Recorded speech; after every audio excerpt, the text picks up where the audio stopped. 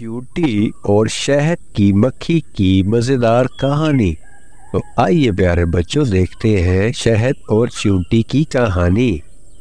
एक दफ़ा का ज़िक्र है कि एक चूटी दाने जमा करने के लिए एक रास्ते से गुजर रही थी कि अचानक उसकी नज़र शहद के छत्ते पर पड़ी। शहद की खुशबू से उसके मुँह में पानी भर आया। एक पत्थर के ऊपर लगा था चिंटी ने बड़ी कोशिश की कि वो पत्थर की दीवार से ऊपर चढ़कर छत्ते तक पहुँच जाए, लेकिन नाकाम रही, क्योंकि उसके पाँव फिसल जाते थे और वो गिर जाती थी। शहद के लालच ने उसे आवाज़ लगाने पर मजबूर कर दिया और वो फरियाद करने लगी, ऐ लोगों, मुझे शहद की तलब है। अगर कोई जवाब मर्द मुझे शहद के छत्ते तक पहुँचा दे तो मैं उसे मुआवजे में एक जो पेश करूँगी। एक चूंटी आई और उसने चूंटी की आवाज़ सुनी और उसे पूछने लगी, देखो, ऐसा ना हो कि छत्ते की तरफ़ चल लो, इसमें बड़ा खतरा है।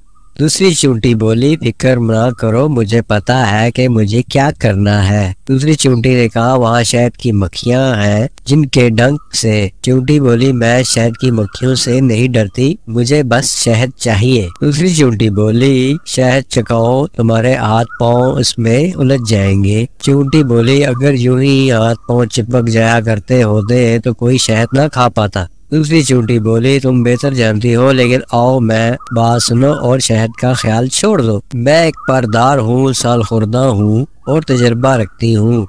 छत्ते की तरफ़ जाना बहुत महँगा पड़ेगा और मुमकिन है तुम किसी मुसीबत में गिरफ़्तार हो जाओ। छोटी चूंटी बोली, अगर मुमकिन हो तो अपनी मजदूरी लो और मुझे वहाँ तक पहुँचा दो। अगर तुम ऐसा करने से कासिर हो तो ज़्यादा खुश ना दिखाओ।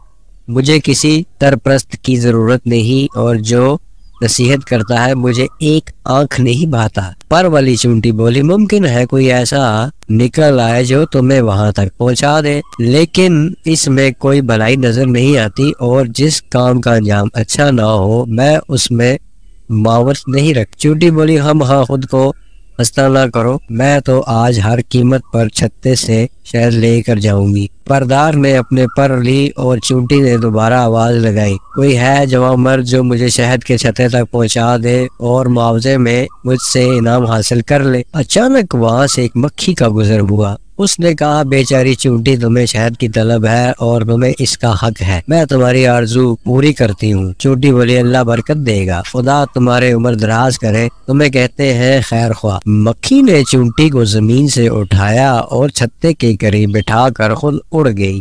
चूंटी हद दर्जा मशहूर थी। कहने लगी, वाह वाह, कैसी सादत है, कैसा छत्ता है, कैसी अच्छी बू है, कैसा उम्दा शहर है, क्या मज़ा है इसमें? इससे ज़्यादा और बढ़कर क्या खुशकिस्मती हो सकती है? चूटियाँ किस कदर बदकिस्मत है कि गंदम और जो जमा करती रहती है और किसी वक्त भी उनका रुख शहद के छत्ते की जानब नहीं होता। चूंटी ने इधर उधर से कुछ शहद चाटा और आगे बढ़ती गई हती के शहद के होश में जा पहुँची।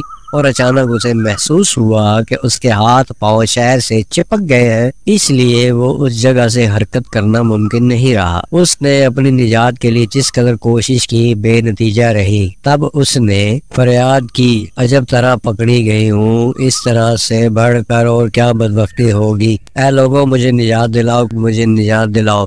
कोई है जवाब? मुझे छत्ते से बाहर निकाल लाए और मैं उसे इनाम दूँ, उसे इस जन्म से निकलने की यही सूझी है। और उस वक्त परदार चोटी अपने सफ़र से वापस आ रही थी। इसे इस हाल में देखकर परदार को बड़ा दुख हुआ। उसने फ़ौरन उसको मुसीबत से निकाला। फिर बोली, मैं तुम्हें सरजनस नहीं करना चाहती, लेकिन इतनी बात ज़रूर कहूँगी कि ज़्यादा लालच, गिरफ्तारी का सबब बन जाता है। आज तो तुम्हारा नसीब बुलंदी पर था कि मैं अचानक यहाँ पहुँच गई। लेकिन आइंदा मोहताज रहना, गिरफ्तारी से पहले नसीहत को गौर से सुन लेना और किसी मक्खी से मदद ना मांगना। मक्खी चूंटी की हमदर्द ना और ना उसके लिए चूंटी का खैर ख्वाह होना है। मुमकिन ही नहीं है कि वो तुम्हारी हमदर्द होती।